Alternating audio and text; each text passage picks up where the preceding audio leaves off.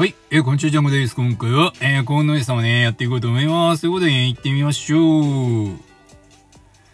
えー、信者、鉱石、ドワーフか。まあ、ちょっと信者で行ってみようか。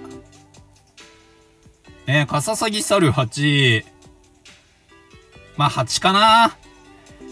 えー、ちょっとね、今のでカササギを取るのは怖いかなということでね。まあ、信者だと光る小石でレアリティ上げるのマイナスになっちゃうからバブルですかね。ほいほいほい。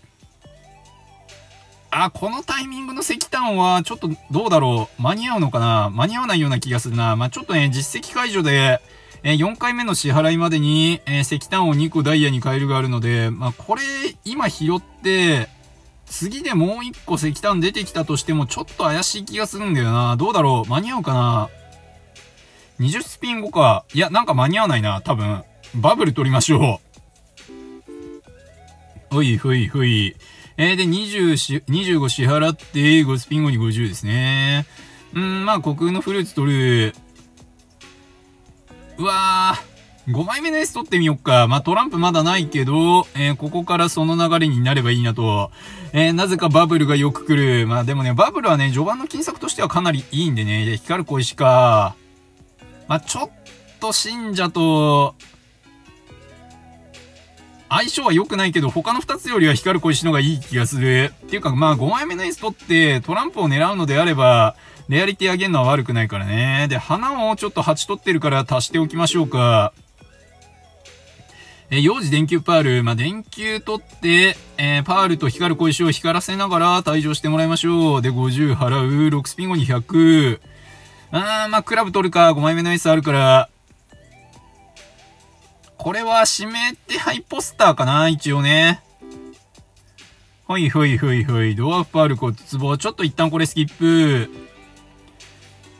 えー、虚空のフルーツ取る。虚空のフルーツが2個ある。まあ、即1個潰れた。えー、サルギャンブラーバナナ。ん？サルギャンブラーバナナ。ギャンブラー取る？サルとバナナはね、どっちが取るとどっちが取れないんだったらなんか微妙な気もしたからね。光る小石でレアリティ上げて、これはどっちかっていうと信者よりトランプの方に寄せていく方がいいような気がしてきたな。えー、これ一旦スキップ。えー、虚空のフルーツは潰れた。で、電球が、えー、小石とパールを光らせて退場と、お、ギリギリ、危な今ちょっと電球の絡みどころ次第ではやられてたかもね。6スピン後に150。えー、ワインひよこうさぎの毛か。ちょっとこれ引き直してみよっか。あ、クラブ来る。オッケー。トランプ2枚目。トリプルコインも使っていく。これでコインが、えー、3コイン出すようになるので、えー、まあまあまあまあ、初期からあるコインがちょっと活躍するかなというとこですね。まあこれ微妙、ちょっとスキップ。結構カツカツだな。これ怖いね。8取りましょう。花8ができるだけ、えー、隣接してほしいぞと。で、また電球でちょっと、一時しのぎしていこうか。お、花8、いいね、その接し方。えー、っと、そうね、枯渇チーズ、賞金稼ぎ。まあ、賞金稼ぎ取って泥棒に備えましょう。ほいほいほいほい。石炭。まあ、ちょっと遅いわな。まあ、フーリガンの方取ろうか。で、1スピン後に150。あ、ちょっと無理じゃないこれ。えー、シンボルジャスト20か。まあ、一応フーリガン取って、えー、信者はもう消すと、これでね、いや、50コインはこれ稼げないね、序盤。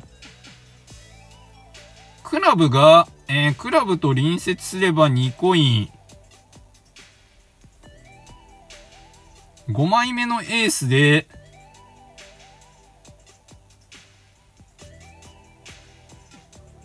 あ、でもそうか。5枚目のエースって、赤と黒が隣接してないとダメなのか？この書き方だと。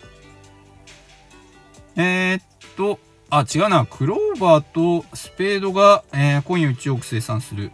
クローバーまた隣接しているとき、あ、そうだね。やっぱ色違いで隣接してないと、あ、ダメだこれ !50 コイン出ないね。はいはいはいはい。まあ、花鉢のかつ、えー、かすりどころが良かったとしても、ちょっと厳しいですね。120、えー、30コイン足りないよということで、まあ、今回はね、えー、かなり序盤でやられちゃいましたね。まあ、たまにこういう時あるよね。今回の場合ね、ちょっと、初手で信者取ったのに、二人目の信者が全然来てくれなかったあたりから、まあ、ちょっとね、序盤でやられる可能性あるなとは思ってたんですが、えー、案の定やられちゃいましたね。はい、えー、ということで、今回はこれで終わりにしようと思います。ありがとうございました。よいしょ